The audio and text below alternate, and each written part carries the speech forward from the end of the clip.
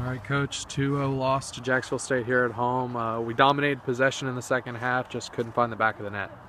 Yeah, I thought we were very bright tonight at times. Uh, really pleased with the start. I thought we had some great opportunities early in the game, and uh, for one reason or another, they just didn't fall our way. And um, we invited Jacksonville State into the game um, just a little bit before halftime, and then I thought we got the possession in the direction that we wanted to go in the second. But um, you know, a little bit of an unfortunate goal, uh, the first goal, and um, you know, as we've found in the conference so far, if you if you go behind, it's difficult, and um, you know, teams have every right to.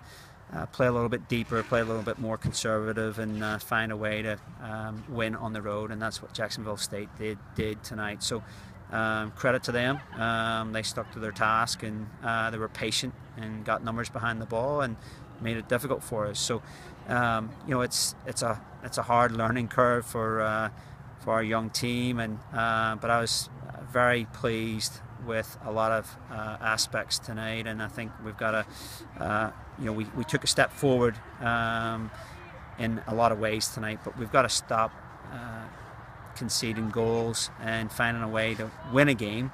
If we have been the better team and if we've had better possession, we've got to um, now get the three points from that game.